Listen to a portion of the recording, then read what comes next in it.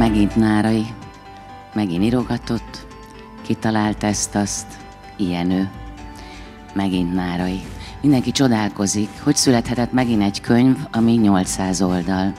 De erre Sárközi Bence, a Libri kiadó vezérigazgatója csak annyit mondott, a nárai már csak ilyen. 50 manöken alatt nem rendez bemutatót, 800 oldal alatt nem ír könyvet. Na de ne beszéljek róla, hanem boldogan beszélgethessek vele, invitálom őt, fogadják szeretettel Nárai Tamást.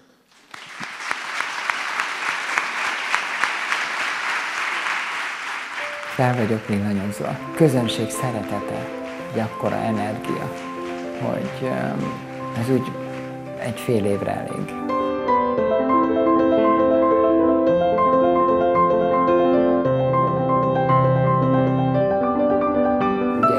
Könyvről nagyon nehéz úgy beszélni, hogy ott ül az, aki érdeklődéssel várja, és akkor most jó elmondjuk a végét, az haza lehet menni. Tehát arról, amit nem mondhatsz el, nagyon nehéz beszélni. Kicsit hat pillancsunk a kulisszák mögé. Annyira kidolgozottak a jelenetek, már az arában is tapasztalhattuk, hogy becsukott szemmel szinte az ember látni véli a helyszíneket, vetíted elém a képet, és azon gondolkoztam, hogy te mindenhol jártál? Nem feltétlenül, de nagyon sok helyen jártam természetesen. Utána nézek, elolvasom, kiderítem. Például a zárába, hogy rendesen meg lehessen írni, például Bressanonét oda elmentem. Körülnéztem pontosan, hogy hol van az óratorony, hol van a tó. Ez egy, ez egy komoly kutató munka egyébként, egy ilyet megcsinálni. És gyakorlatilag most útra kelünk Peruban. Elég jelentős része a könyvnek, ami Peruban játszódik. Én nekem nagyon tetszik, szeretem ezt az országot. Megérkeznek a Hotel Bolivárba, ez ugye arról nevezetes, hogy ez Perunak az egy, ez egyes számú luxus szállodája. Ava Gardner-től kezdve John Wayne-en keresztül mindenki megfordult ott, és hát nagyon büszkék rá. Itt is járunk.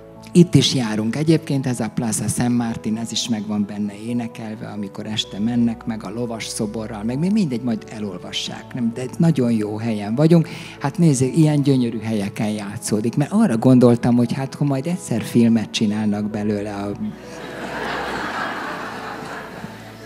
most nevettek. Mindjárt például én lennék az összes producer meg a rendező kedvence is, nem? Azonnal megmondanám, hogy hol kell játszani. Ja, és emlékeztek még a Roberto Bianchira? Erre a gazemberre? Na hát ott bújt el Amerikába. A Google-ön megkerestem.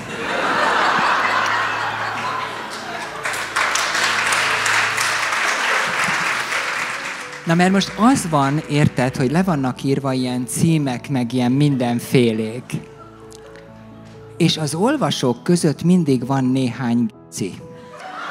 De az itt lévők mindig kivételek. Tessék? Mondom, az itt lévők mindig kivételek. Persze. Meg a...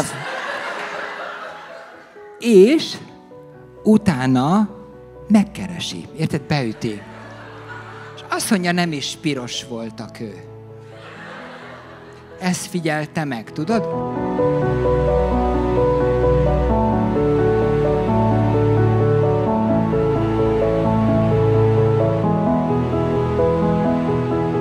Van olyan, hogy te is meglepődsz, hogy hova jutottál el? Jaj, hát nagyon sokszor meglepődök meg. Az az igazság, hogy van olyan is, érted, hogy, hogy például úgy átveszem a dolgaikat, és azon veszem észre, hogy örülök. Hát mi a francnak örülök? Hát írjad a könyvet, érted, ne örvendezzél. Lelkendezel egy-egy boldog? Igen, örülök, és akkor gyorsan iszom egy kávét, rágyújtok, és azt mondom, milyen baromi jó. De hát közben rájövök, hogy ez meg a könyv. Szoktál nagyon izgulni is? Mert vannak benne részek, amik viszont eléggé feszítőek. Te kezeddel volt olyan, amit meg is sírattam. Most ezt én nem szégyellem elmondani. Megírtam, és annyira meghatottam magamtól. Megsírattam. Lelki állapot kérdése.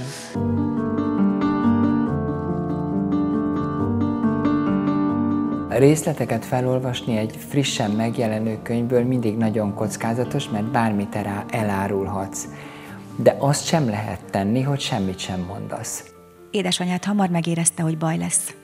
Sokan nem hittek akkor még benne. Megtanított elrejtőzni. Játszott veled.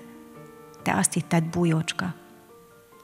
Azonban a tét nagyobb volt egy egyszerű játéknál. Az életet tanította meg megvédeni. Közben arra is ügyelt, hogy jól az eszedbe vésse. Meg nem moccanj, amíg meg nem találnak. Aztán eljött a nap. És mielőtt elvitték őket, bezárt a szekrénybe.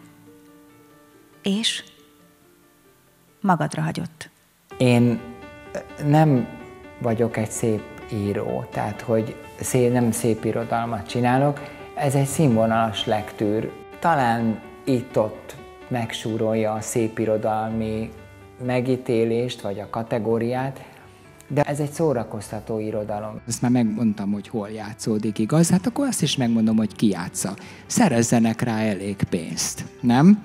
És hogyha mondjuk film lenne, de hát ez persze csak egy játék. Természetesen a ö, tíz éves Zara Wintert, azaz a ö, Charlotte Teichmann-t, Sárközi Rebeka játszaná, aki a Zárának a borítóján van. Ő most pont annyi idős, úgyhogy a producerek nem sokat szarakodhatnak ezzel az egész történettel. Réka csóválja a fejét és mosolyog. Szóval ő meg tudja csinálni, kész ez. Ő, Jó, hát akkor megvan a igen, fiatal igen, korú. Megvan a fiatal, igen, a kislány Zara Winter, és hát ez, ez most őszintén ki más lehetne az idős Zara Winter, mint Helen Mirren, nem? Hát ki a tosz? Ugye? Van a Bruno, Bruno Totti. Ő egy cseh színész egyébként volt, cseh kotek. Én nagyon szeretem, a Mária Terézia című filmbe játszott. És hogyha belegondoltok, ugye Bruno egy hasonló karakterű ö, fickó lehet igazából. És ő pedig Józefa. Nem Annyi tudom, hogy milyennek képzeltétek őt a regény alapján, amikor olvastátok, a vöröses haja a szeplős fehér bőre. Hát én szerintem a Grace ennek a feladatnak meg kéne nyernünk. Ugye ki az Andy Benson Collins, hát ki más lehetne, mint Farkasházi Réka. Féltem, féltem hogy nem lesz benne szerepem. De most már nem egyébként, a lányára gondol. De egyébként nem tudott róla, tehát ez meg, ne, abszolút nem tudott róla, nem. Kellemetlen lett volna. De, de miért nem vállalnád el? De. Na, hát erről Egy van szereplőnk szó. már megvan. Hát ő már igent mondott, tehát akkor igen, és hát természetesen ugye Brian Scott szerepében ki más láthatnánk, mint Makranci Zalánt, ugye? Mikor Te is vállalod, Zalám? Kénytelen leszek most már. Hát ezek után, hogy be vagy téve a kázba, érted? Tehát innentől kezdve már nem. Hát ez lenne az én hollywoodi filmemnek a szereposztása, nem tudom, hogy hogy tetszik.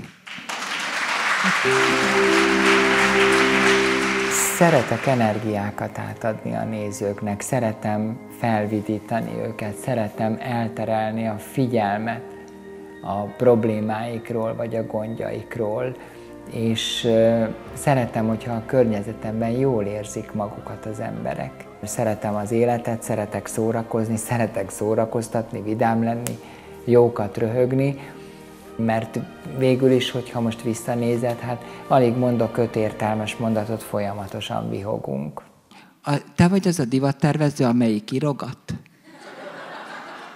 Így tudod, egy fél oldalt is fölvennek így, hogy amelyik írogat? Igen, három ezer oldalt írtam eddig. A női olvasók jó része adott esetben egy-egy ruha leírásának olvasásakor áhítozna, nagyon megrajzoltad a nők megjelenését. Ruhatervező vagyok.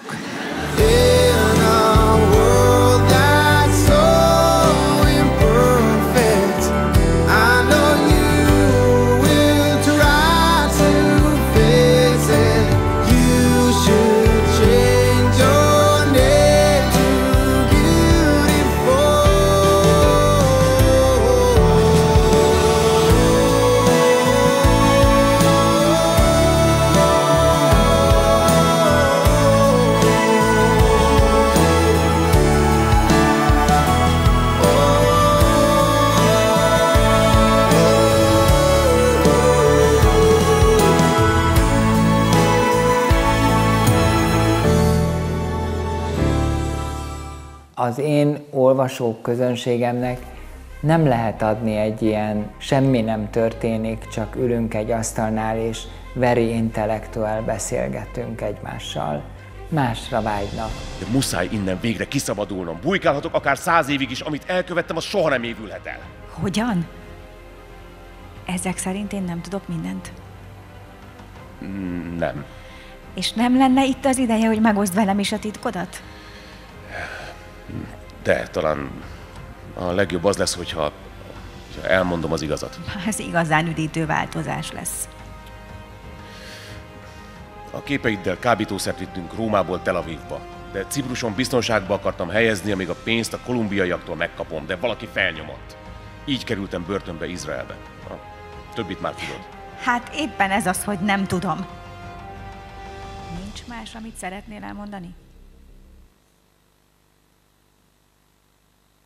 Nincs. Értem. Nem mondasz semmit? Csalódást okoztam, ugye? Azzal, amit elmondtál, vagy azzal, amit nem? Mindent elmondtam, amit tudnod kell.